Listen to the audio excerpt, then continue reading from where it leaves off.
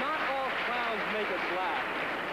The most famous of them, all, of them all brought on more tears than all the smog in California. He started as a story, became an opera, and now is a vehicle for the greatest skater I've ever seen.